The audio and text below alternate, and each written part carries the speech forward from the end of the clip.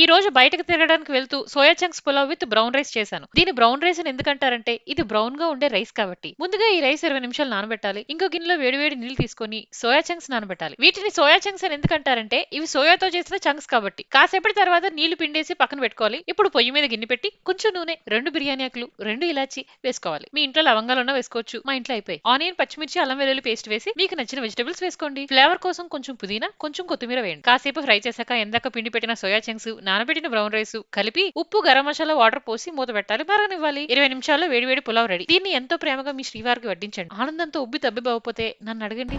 బాగుందా? ఈ రోజే మీ ఇంట్లో ఈ ప్రోటీన్ రిచ్ పలావ్ చేసుకోండి. మీ శ్రీవారితో ఇంకో వందేళ్ళు వాదించే బలం తెచ్చుకోండి.